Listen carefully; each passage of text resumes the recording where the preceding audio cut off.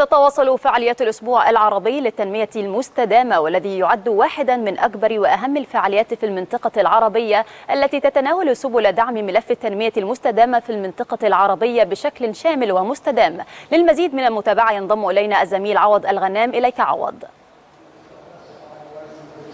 تحياتي فاطمة بالفعل كما أسلفتي على مدار يومين وتبقى غدا وبعد غدا تستمر هذه الفعاليات المهمة للغاية. بالأمس كان حوارا مستفيضا حول الإعلام التنموي ودور القطاع الخاص وشراكة منظمات المجتمع المدني. اليوم الصورة مغيره بشكل كبير للغاية.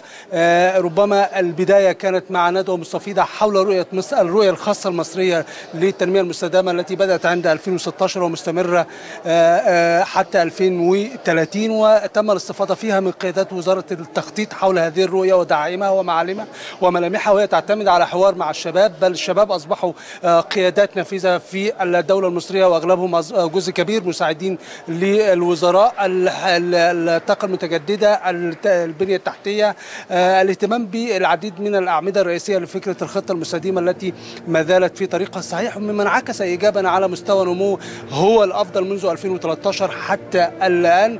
ممثل البنك الدولي في هذا الحضور أشاد على أهمية توطين فكرة الخطة المستدامة أو الرؤية الخاصة بالتنمية ضريبة للمثل بذلك بالصين وكولومبيا وفيتنام.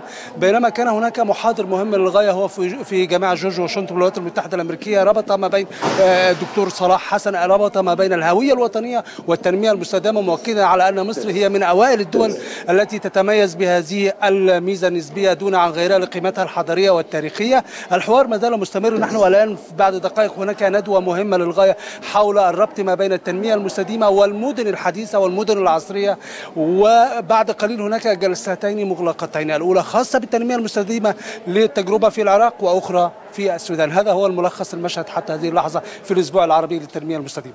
عودة عليك فاطمة. أشكرك شكرا جزيلا. الزميل عوض الغنام كنت معنا من داخل مقر انعقاد فعاليات الأسبوع العربي للتنمية المستدامة شكرا جزيلا لك.